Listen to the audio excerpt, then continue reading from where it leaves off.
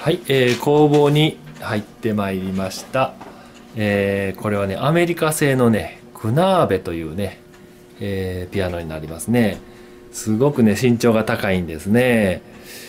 はいえー、こういうところを見るとねこれ一度これ30年前に購入された時に、えー、これ塗り直してますね。でこの感じ弦にはこの塗料がついてないのでおそらく、30年前に、え弦は交換されてるんじゃないかなということが予想されますね、このチューニングピンが錆びてますけども弦のねこう巻きつけてあるところはそんなに錆びてないですのでね。えー、なので今回は弦交換はなしで、えー、ちょっとねもうアクションの方が不具合が多いのでねそちらの方を中心で直させていただこうと思いますねこうこういう感じで、ね。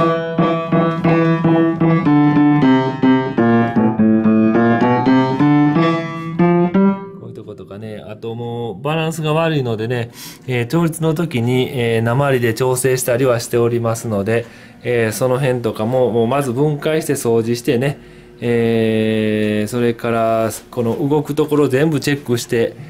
えー、もうネジもね緩んでるところも多いですしねもうグラグラなんですねこういうとこもね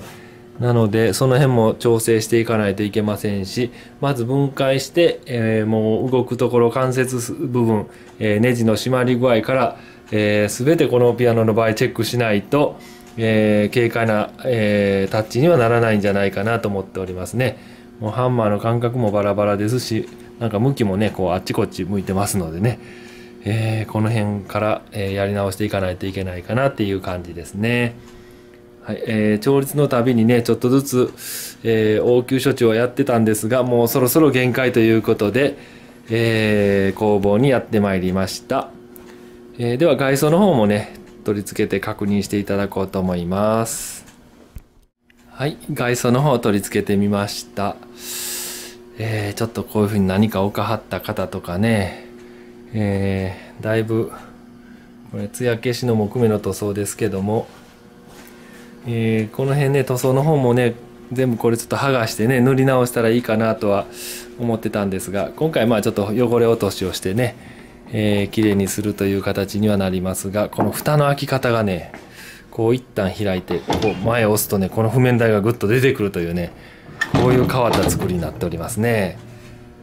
はいえー、こういう長板のところとかねその辺はピカッと光るんじゃないかなと思っておりますね。ペダルの方もピカッと光らしたいなと思っておりますね。えー、まああの塗装まではしないですけども、えー、できるだけ外見の方も綺麗にしていきたいなと思っておりますね。豪華な作りですのでね。楽しみなピアノになっております。